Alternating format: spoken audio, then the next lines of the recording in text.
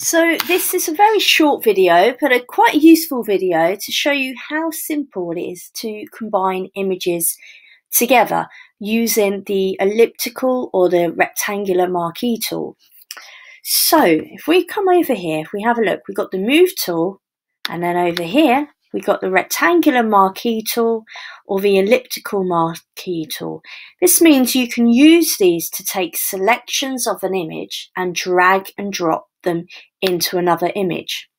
So for now, I'm going to look at the elliptical and what I want to do is combine a selection, a central part of this image and combine it with this and then insert it here in this teacup.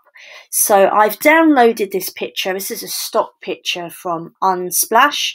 So if you're finding it difficult to find images to work with, um, then and you just want to practice the techniques, then Unsplash is a great site just to download images purely for experimental reasons. Okay, you wouldn't be able to include these in your sketchbook unless they are part of your mood board.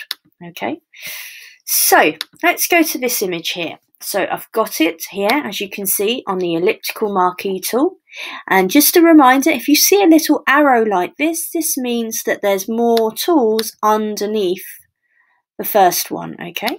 So for now, we're ticked on the, mar on the elliptical marquee tool. Now, to make a nice constrained circle so there's no distortion, so it doesn't become an ellipse, you press shift and you hold the shift button down. And then I keep the shift button down. Oh, I've managed to take two. So let's Command Z, Command Z, and let's do that again. Shift button, keep it constrained, keep it constrained. There. Now you can position that as you want. So I'm just moving the arrows slightly. Let's move that up a little bit there. And there we go. Okay. Now I'm clicking on the move tool and then I'm going to drag and hold it and then hold it, hover it over this and then still holding and uh, release. Once you can see the black arrow over your image, release and your picture will appear. There we have it. We've got a nice circular image. Okay. And remember if you want to zoom out slightly, there we go, so we can see all the picture. Now, you don't need to press shift here you just take one of the corners and resize. Let's make that a little bit bigger. There we go. So you just scale it up, but you need to take a corner like so and just drop that in like so and press enter for it to commit. And there you have your image combined like so. And there we have it. Okay. And there are other techniques where we can have a bit more of a blended mode and we can look into that. But for now, that's how you can combine an image. And I've got another one here. So we'll do it again just to reinforce this. So remember, hold the shift down, drag over your picture like so. There we go. Use your arrows if you want to just tweak it slightly. There we are. I'll off center it slightly so it doesn't look.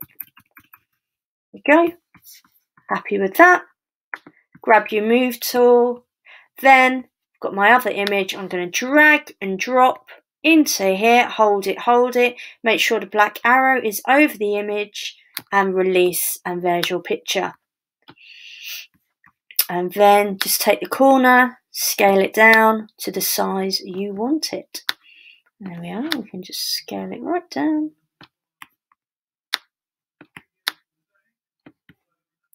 Get slightly bigger if you want.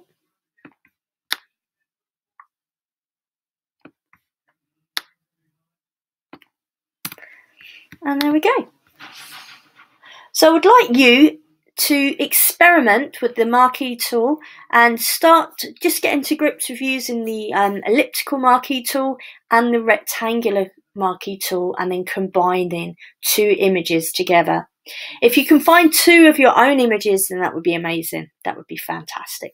Okay, so enjoy. Good luck. Thank you.